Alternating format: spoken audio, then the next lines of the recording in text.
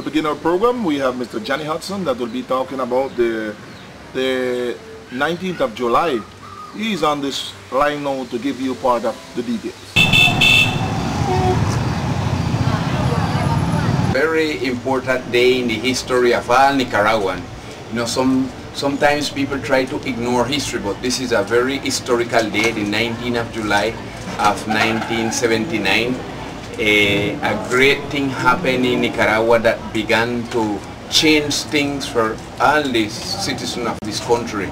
Uh, particularly, uh, what happened the 19th of July give open doors to make we could have uh, our autonomy law today. If we didn't have the revolution in Nicaragua, we would never achieve autonomy. And even when we are not satisfied with the implementation of the autonomy law, we have the law that recognize our rights and what we need to do is work harder.